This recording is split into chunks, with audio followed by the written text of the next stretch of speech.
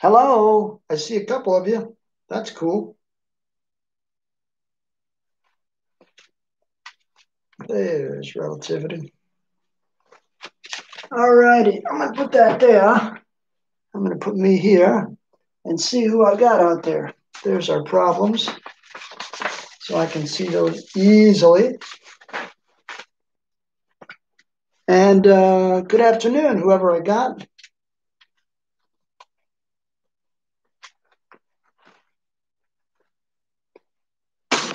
All right. So you guys can see the whiteboard. Okie dokie. And I got today the, what do I got? I got the 15th.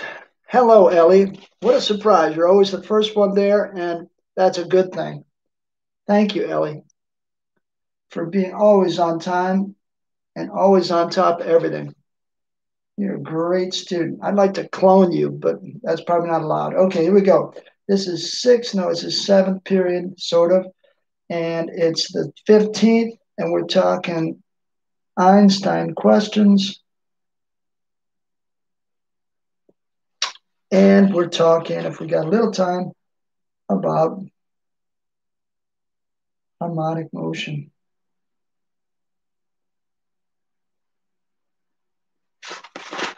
And there's Teresa too, dynamite. Welcome you both. Happy Friday.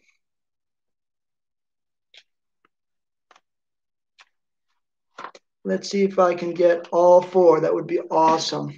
So Zach and Anne Sophie, come in, come in.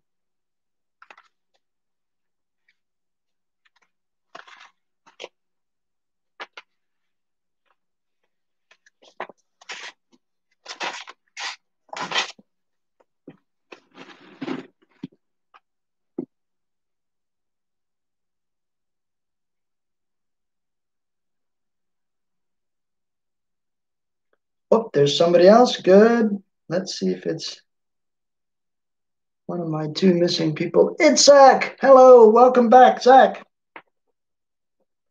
Just need Anne Sophie, and then we're all one happy family. Okay, here's what's up, my people. I'm going to mainly today answer questions on the uh, Einstein problems, of which there are many. I know that.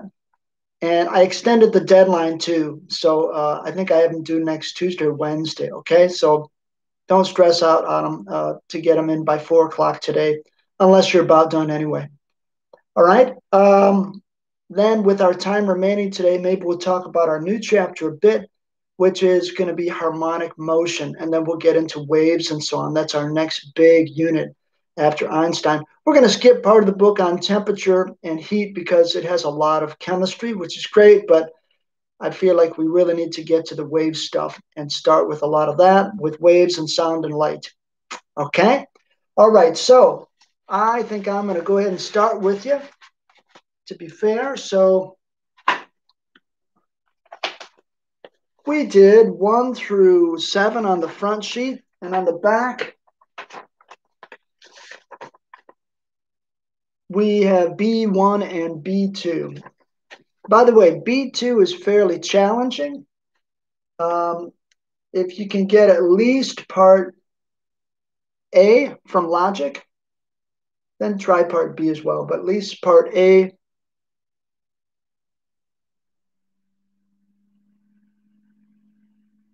No, actually, they're both both parts are not that easy.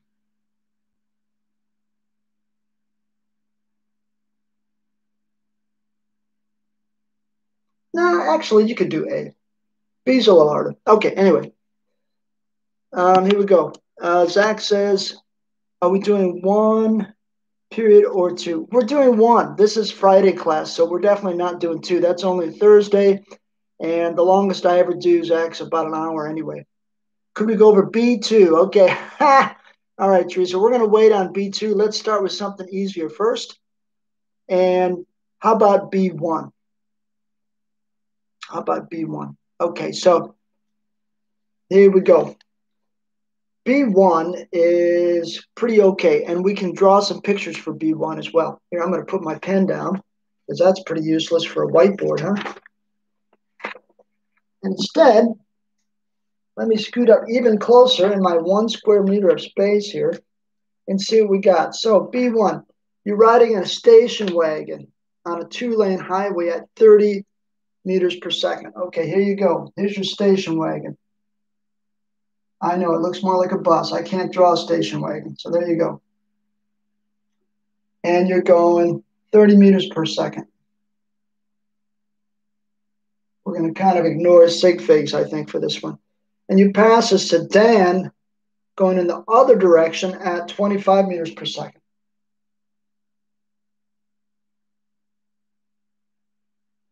Sedan, so it's got four doors. Okay, so that's going this way at 25 meters per second. Great picture, huh? Why does the why does the sedan appear to be moving so much faster than you? Okay, here's the sedan. Here's you in the station wagon. We did some of this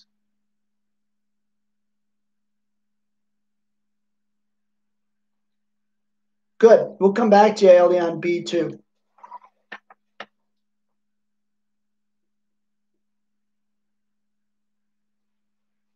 So, question about B1. Here we go.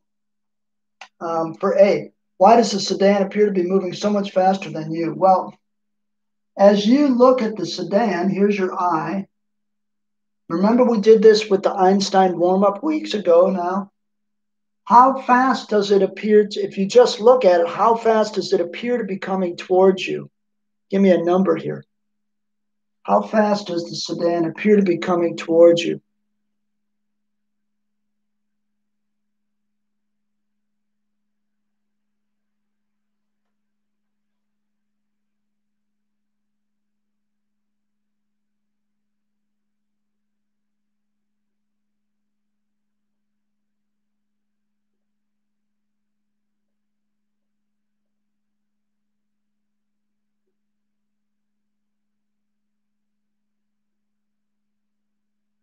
Exactly. Good job, both of you. So you add these two. So it's fast, man. It's 55 meters per second.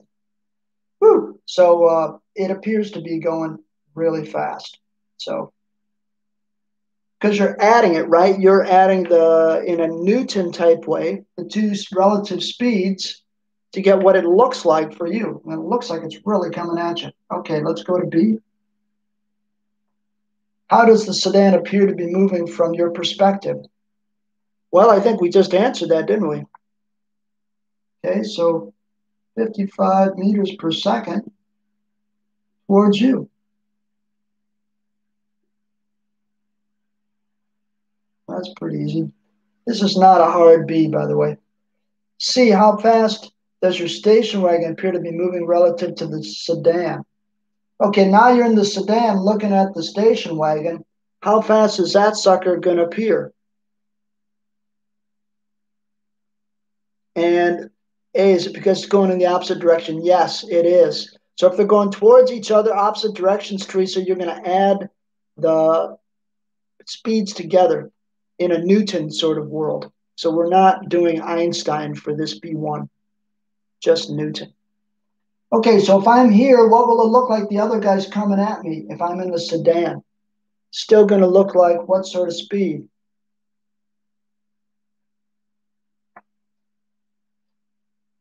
So if I'm sitting here now and looking at this, what sort of speed will the station wagon look like it's coming at me? Same speed, you got it. So same 55 miles per hour, uh, meters per second.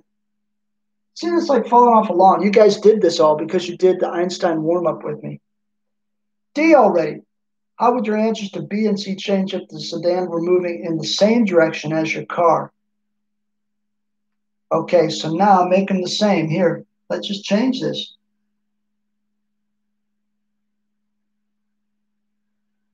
Okay, so now let's answer B again. How fast does the sedan appear to be moving from your perspective? Well, it's only going 25. You're going faster. You got it, Teresa. So it'd be five meters per second. Um, That's it. Towards you, I guess. Towards you.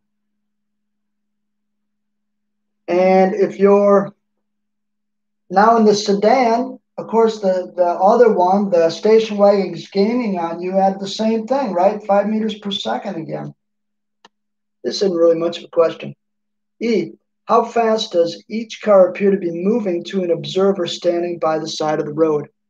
Okay, so now, yeah, much slower, but you can give the number there, Zach. It's exactly five. So if I'm standing here at the side of the road, how fast does each vehicle? So for E, we'd say the station wagon is going, if you're in a rest position over here, right? So you're not in the picture, is going, hmm, and the sedan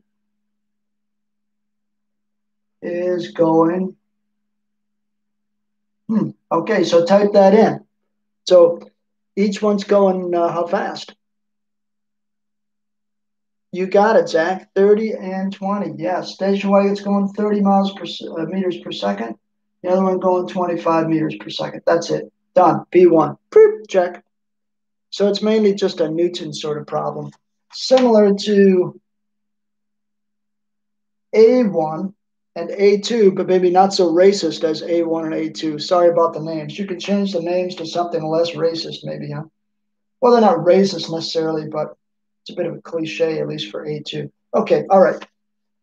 B2, or is there something else we'd like to ask about with B1?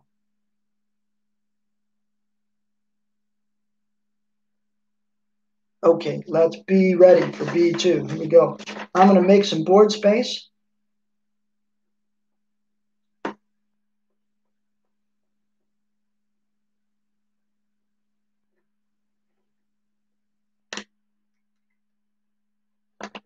And B2 about Leon. So here we go. Leon observes that his heart beats 60 times per minute.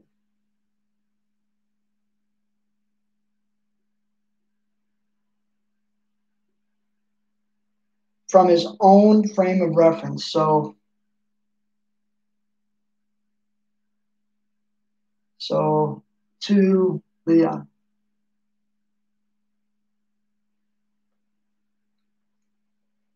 Hey, man gets in a rocket ship on his 25th birthday and flies away from Earth fast enough so that his heartbeat would appear to occur half as frequently as observed on Earth. How fast would the rocket be traveling? Okay, so back up a sec. If it's go if he's beating 60 times per minute, well, then for one beat, it would be how many seconds? 60 times per minute. So one beat would be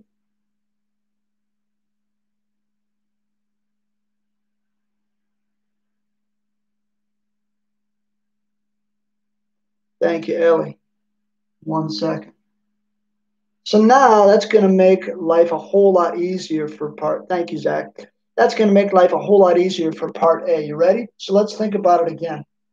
Um, so that his heartbeat would appear to occur half as frequently. Okay, so it's one second is a beat for Leon. If it's half as frequently, then what would be the what would be the time what for on earth? So that's per beat on earth. So how much time would this be?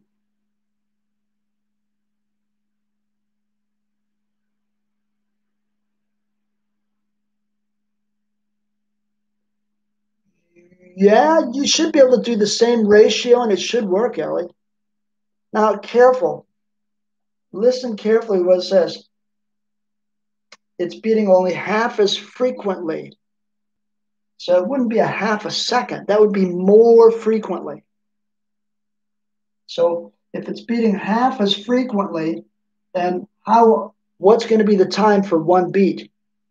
Exactly, Zach. Two seconds. So now we can set up the time equation, okay? And go for it from there. Okay, so time, oh, I gotta reach back and get this. I've been teaching something else, so I don't have it handy in my brain.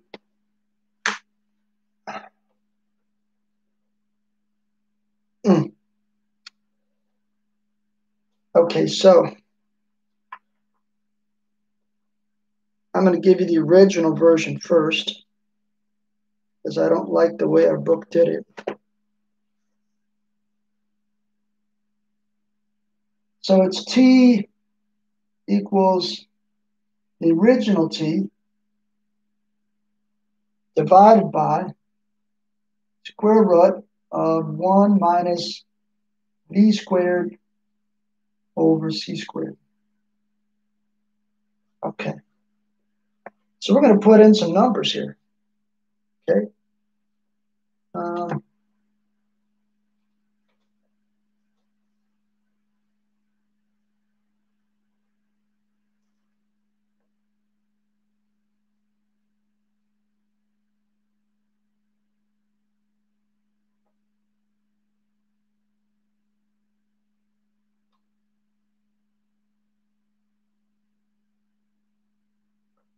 Okay, so for Leon, because um, he's the original, I think we're going to put in one second for here. And then this time, time on Earth is going to be, I think, two seconds. Let's see if that makes sense. Yes, I think that's going to be two seconds equals one second divided by square root of 1 minus v squared over c squared. And we're trying to find v, right? So the rest is a lot of math, but it's not real hard math. Remember the trick I taught you? What can I do with the bottom of this fraction and the two seconds up here? What can I do at the bottom of this fraction and the two seconds?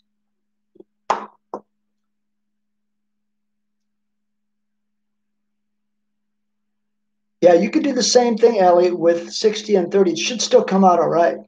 Switch them. Thank you, Zach. So we're going to do just that. So I got square root of 1 minus v squared over c squared equals 1 second over 2 seconds. Well, my seconds cancel, don't they? I could write today 1 second, 2 seconds, and my seconds are gone. Okay, now Let's do what to each side?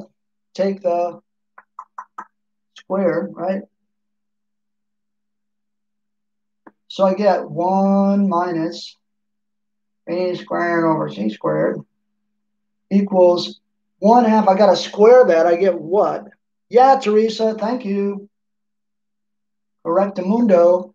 And now let's subtract the 1. I know, don't worry, it's going to turn out okay. Don't be afraid of negatives minus 1. So I got to get, so I got negative v squared over c squared. Everything will be good. Keep your arms loose. And then I got a 1 minus that will be negative 3 over 4. Now I got to make some room to finish up that math over here, right? You guys catch me if I make an error. I'm just kind of rolling, but uh, I may screw up. So don't just let me do it. Check everything I do because I've made mistakes before, as AP people will, will let you know. The negatives cancel out. Whew. Thank goodness for that, right? So I got v squared over c squared equals 3 fourths. Now here's kind of how you can do it. You ready? Let's let the v is going to equal some like point something or other times c point x times c. So you know what? I can cancel out this c squared. You know what I'm saying? And I'm just going to get this little fraction thingy right there. So um, 3 fourths equals mm, x or whatever squared. So essentially, you guys need to like Exactly, exactly. Take the square root of, we need to take the square root of this. This is squared now, so I got to take the square root of 3 fourths or square root of 0.75, okay?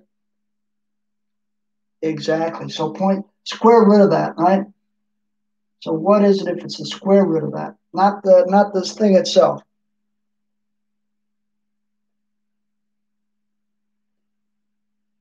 Yeah, so the final answer is not 0.75. I got to take the square root of that sucker.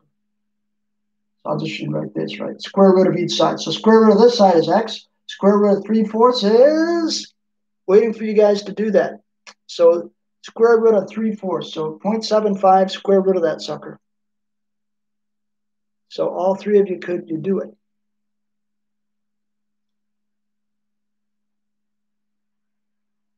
I'll come back to your, your, your question. The c squareds cancel out. Although, Ellie, you can do it another way.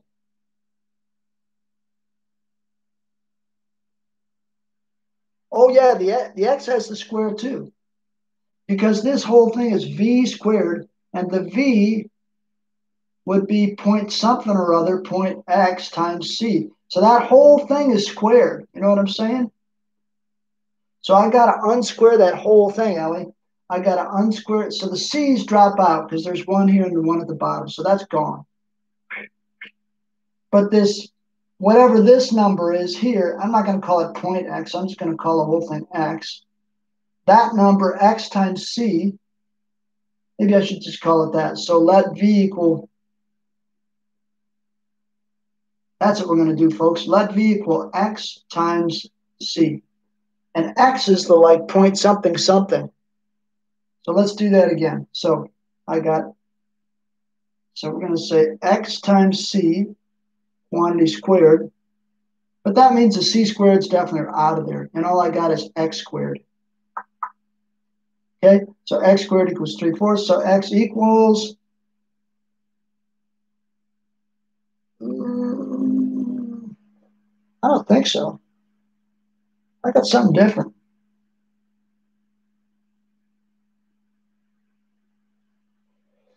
It's not the square of it.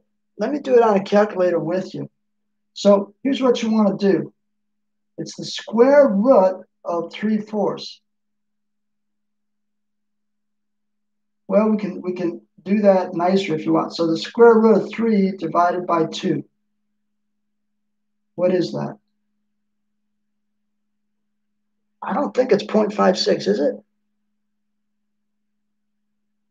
Uh, we're not agreeing on the answer. So square root of 3. I, I could have screwed this up. So I think I had it right.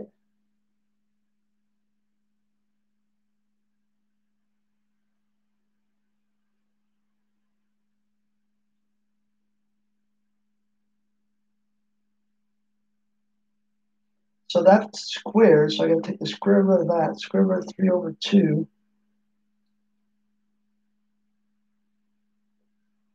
So is that right, 0.43? If it is, then I've done something wrong, according to the book. And according to what I know as well. Okay. Let me go back and see where I put in the two seconds here. I erased it, doggone it.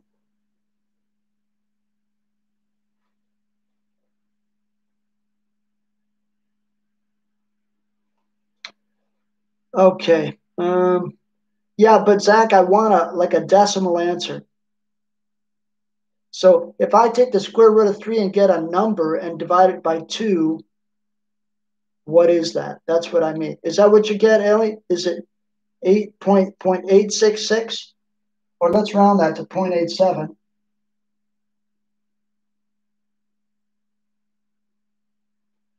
Zach, can you verify that in Teresa too? So if I get square root of 3, what if that is in a decimal, divided by 2? So Zach and Teresa, can you both do that? I want to make sure we all get the same thing. Okay, great. All right. So now we can answer the question. Okay, so go back to go back to the question. Uh, where'd I put it? Uh, so, um, how fast would the rocket ship be traveling? So, what does that mean? You got it now. Good. Okay, so so rocket is going. What speed, gang? How can we say it? So the rocket is going. How do we say this? What have we found out? What's this mean?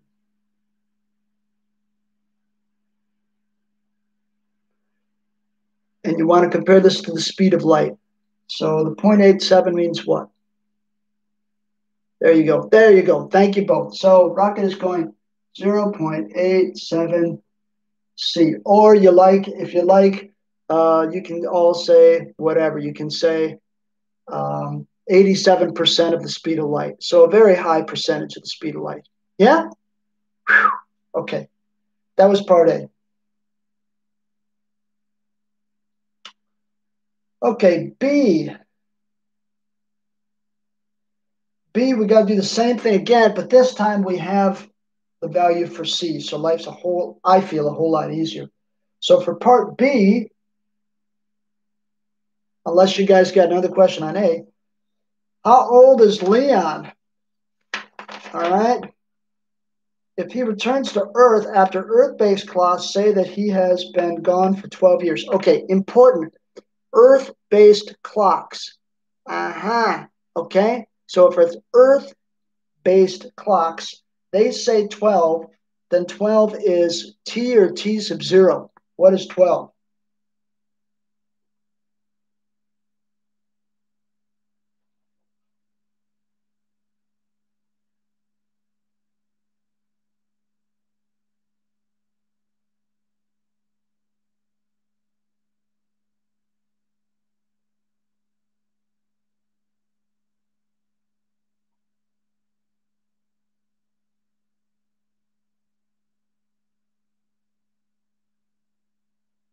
Hmm.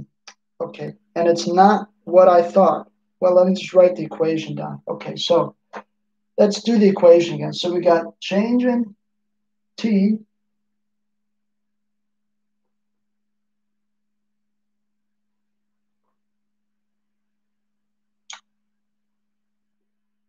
equals delta t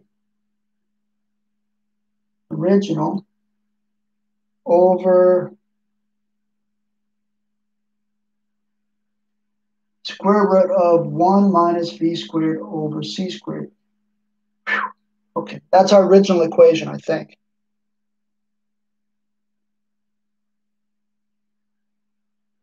And what they're saying is that the original is his age, so they're actually putting the delta t in for here. So they're saying that's 12 years.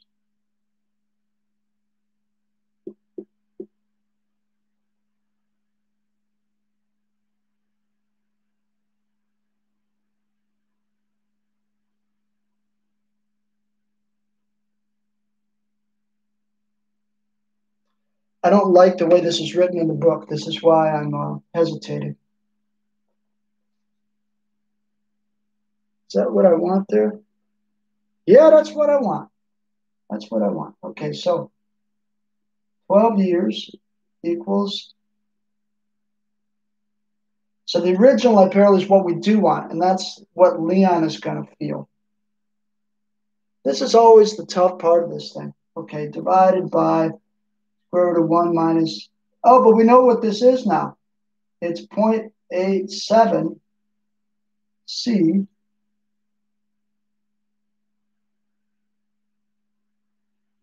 squared over c squared. And so it's, let's multiply and get this thing over. So it's 12 years times square root of 1 minus 0.87 squared. You know what I'm saying? Because that's our v now. But that's it. The c squared at the bottom drops out. So can you guys do that? And that should equal our change in T on Earth, which would be the, the rest one we're looking for. I believe. Yeah, yeah, yeah, yeah, yeah, yeah, yeah, yeah. It just didn't write up the answer correctly in the book. Okay, so let's do it, right? 0.87 squared, you guys got to do that. I don't know what that is. Or do I? Maybe it's 3 fourths. Remember how we did the opposite over here? 12 years times. So what's 0.87 times 0.87? Is it 0.75 like we had it over here? That'd be kind of cool, wouldn't it? You do the same thing in the next problem. What's 0.87 times 0.87? Does somebody do that on their calculator? Uh, I think you got decimal wrong, Teresa. That's not going to work out. It's got to be 0.87 times 0.87.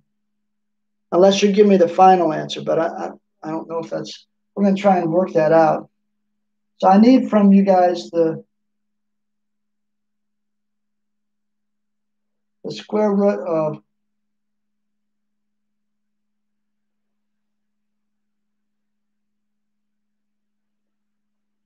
Oh, Teresa, yeah, you got the right final answer. Okay, so, and thank you, Ellie. So it is 0.75. So it's square root of 1 minus, so it's going to be the square root of 1 minus 0.75. Can I say it's the square root of 0.25 equals delta t? And Teresa's got the right answer. Yeah, ma'am, it's 5.9 what?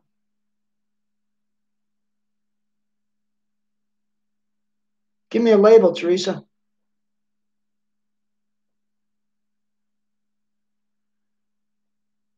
Thank you, Teresa. Equals the change in time on, on Earth, I think.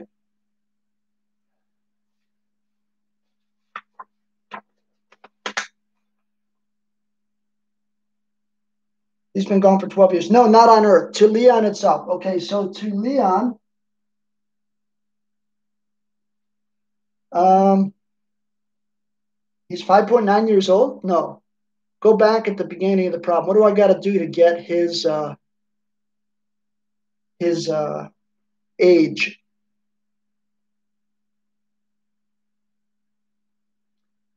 So read the beginning of the problem. What do I got to do with his age? Two. So to Leon, his age is. There you go. So I got to go 5.9 plus 25, right? So 30.9 years old. So, in other words, he is essentially 31 years old, but on Earth, he's what, six years older? So he's more like 37 on Earth. That's how he would be if he'd have stayed on Earth. But because of the rocket ship, he comes back and he's 31 instead of 37. So his, everybody at home would have aged an extra six or seven years while he was away. That's life in the fast lane, right? The really fast lane. Exactly. So that's right. So 5.9 was correct, and then you got to add that to his age, right? Exactly, Zach. Right? Whew, that's the hardest one. How about any of the other ones? Are you okay with the other ones, gang? The A ones, the one through seven?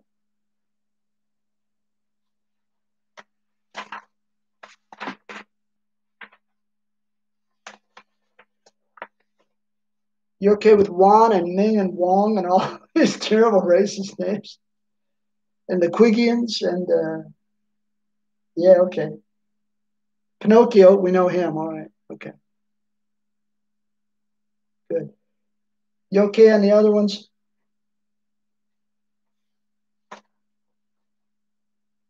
It looks like that's a yes if I don't hear anything.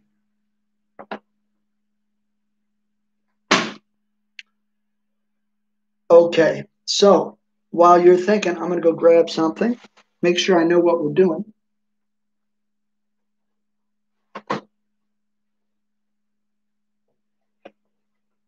Oh.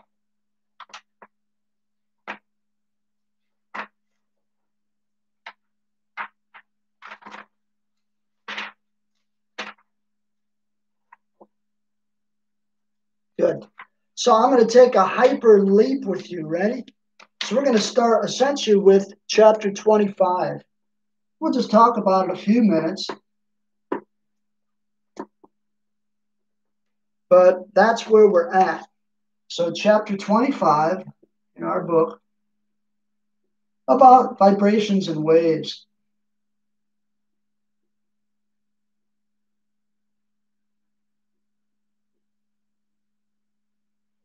This may be review if you were here for 10th grade physics.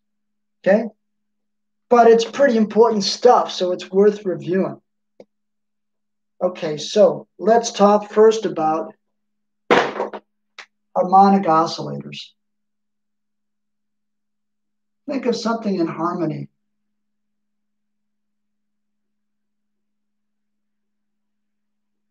Um, okay. I'm going to give you an example of one.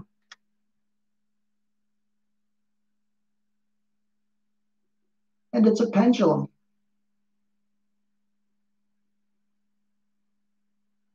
And I got one right here. Ready?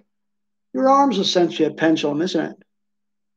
Just I don't have much of a weight here, but I could put a meter or a kilogram mass in there, and that would be a little more interesting. So I could imagine a string and have it going back and forth as well at any rate, I'd get a nice pendulum. If we ever get back in the real world, I got a good lab for you guys to do on pendulums. It's pretty cool. But who knows, right? So let's sketch one. So here's a pendulum, and let's have it in motion. Here's its little weight at the bottom. The weight at the bottom is called the bob. Bob. Bob, bob, bob. And let's say it's going back and forth here. So over here, and then back. So, so there's my pencil. I'm going back and forth here. It is indeed a harmonic oscillator because if I look up close, when it's in the middle, like that, that's as if it's not moving, right? And we call this spot in the middle the equilibrium position.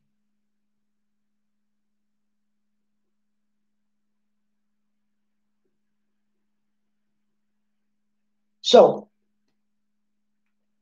to be a harmonic oscillator, it's essentially, gang, gotta be. Uh, I gotta find my eraser. God, I hate being a one square meter and I lose everything. That's embarrassing. Here it is. God, it's hard to get a good teacher anymore, I swear. Okay. So what's harmonic? Okay, in other words, if I go back and forth from this like equilibrium position in the middle, what's the same? How is this? What's what's symmetric on both sides of this equilibrium? So harmonic oscillators are symmetric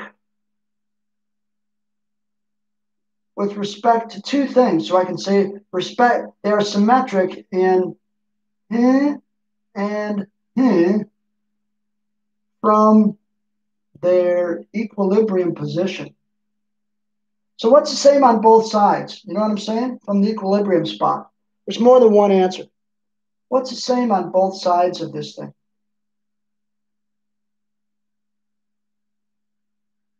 Equilibrium position. All right, so harmonic oscillators harmonic oscillators. They're symmetric in hmm and hmm from their equilibrium position. So what's the same on both sides? Yeah, super. So one thing is the distance. So eh, eh. assume we don't let it slow down. It's covering the same distance. Thank you, Ellie. So that's one thing that's the same on both sides. What else is the same on both sides? Something else you could measure. Something else you can measure that's the same on both sides of that middle spot.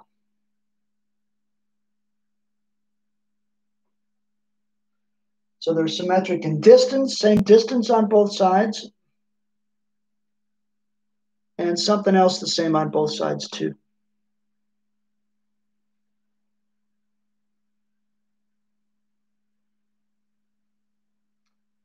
Always got that one too. Time spent. So they're symmetric in distance and time. From their equilibrium position. Yeah, another thing that sounds like it would be true is the amount of of uh, velocity. But you know, the problem with the velocity is it's changing the whole time. So if you think about it, it's going the fastest, whoa, in the middle, and it's going zero right at the two edges. So that's kind of changing. The changes are symmetric, but it's kind of hard to talk about that. This is an easier definition. If I measure the distance on each side or the time on each side of this equilibrium position, out to here, or out to here, they should be the same.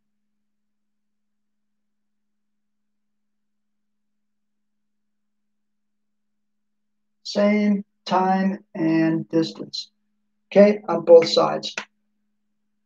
Um, good. Let's talk about that time a little bit. Okay, so I'm going to raise my first little bob and pendulum here. imagine I go one whole like diddly bobber, okay? One whole cycle. Ready? When, when. Okay, when, when. So if I have one out and back journey, that's called a cycle.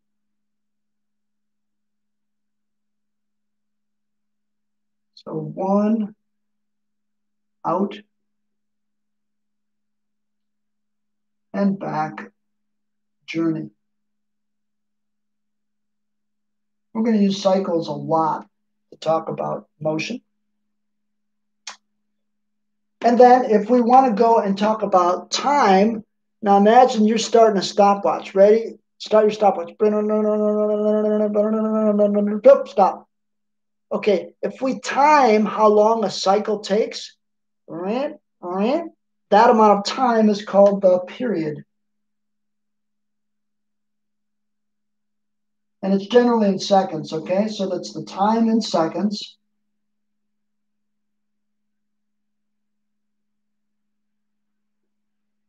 For one cycle to pass.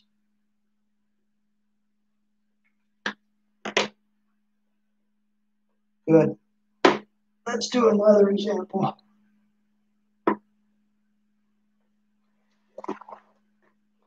unless you guys got questions. How we doing? I guess we're doing all right. You guys are being pretty quiet. And we're almost out of time. Did thing stop? No, we're okay. All right. Um, another example. A duck bobbing in the water. Ah, now you know where that word bob comes from. Bobbing in water, H2O. So here's the water. And of course, as the waves go through the duck, here's my duck.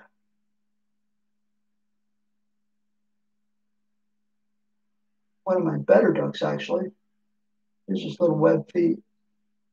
The duck, if you think about it, goes up and down in the water. So the duck bobs up and down like this. And so the duck is essentially a harmonic oscillator. or its motion is a harmonic oscillation.